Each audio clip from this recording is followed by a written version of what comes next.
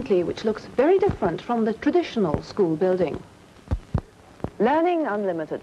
That's what they call this new school for 11 to 14-year-olds, the Manor High School, here in England. From the outside, it looks like any other modern school. But step inside, and you're in Europe's first purpose-built school for learning by discovery. What I want to talk about this morning is the beginning of the Earth. And I want to start by showing a few slides and playing tape recording of one of the earliest theories of how the Earth began. The creation. In the beginning, God created the Here, the old system of chalk and talk has gone. The pupils come together initially for this stimulus lesson. But once their interest is aroused, they're sent out to do their own research. Let there be light. Liberal disease, um, geography, English and history all combined in, one. And um, we, we've done this work on how Earth began. You do sort of new things that you haven't done before. Instead of doing sums, you work work cards. For these pupils, the traditional classroom is not the centre of their lives. This, known as the resource area, is an area which has a lot more than just books.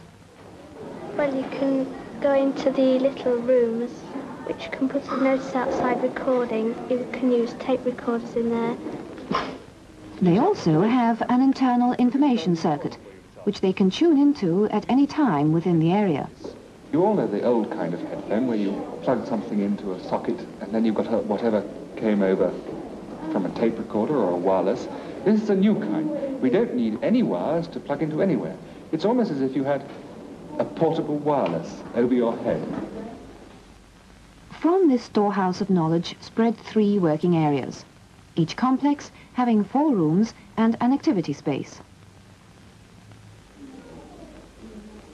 To give the teacher a flexible teaching environment, there are movable walls, a marked absence of doors, and desks have been replaced by tables, which can be grouped together easily. In this way, movement between areas is easy, and groups of all sizes can work together.